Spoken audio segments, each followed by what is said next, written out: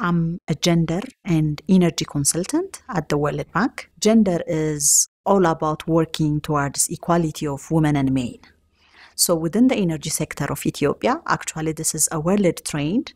Women participation is very limited. We are encouraging women in STEM fields to be in the energy sector, as well as women leaders at the leadership position of the energy sector.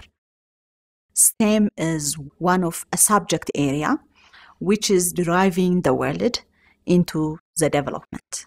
So instilling more women into science, technology, and engineering will resolve challenges of women in the society.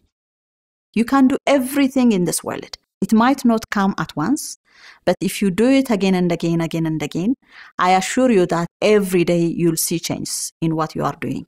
So go for it, try it, explore it, be unstoppable, and achieve.